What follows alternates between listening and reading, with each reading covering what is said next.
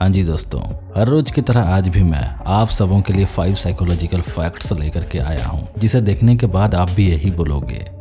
क्या बात है? तो चलिए बिना किसी तरीके इस वीडियो को जल्द से जल्द शुरू करते हैं। फैक्ट नंबर फाइव मनोवैज्ञानिकों के अनुसार प्रत्येक व्यक्ति एक दूसरे की चुगली करता है किसी न किसी से। यहाँ तक कि जो उसका प्रिय होता है वो उसकी बातें भी दूसरों से अधिक शेयर करता है। Fact number four. जिस समस्या का समाधान हमारे पास नहीं होता है, उस समस्या का समाधान करने के लिए हमें सही समय का इंतज़ार करना चाहिए। Fact number three. जो व्यक्ति अपने फ़ोन को ज़्यादा उपयोग करते हैं, खासकर गेम्स में, ऐसे व्यक्तियों का ब्रेन धीरे धीरे कार्य करता है और उनको भूलने की बीमारी हो जाती है। Fact number two.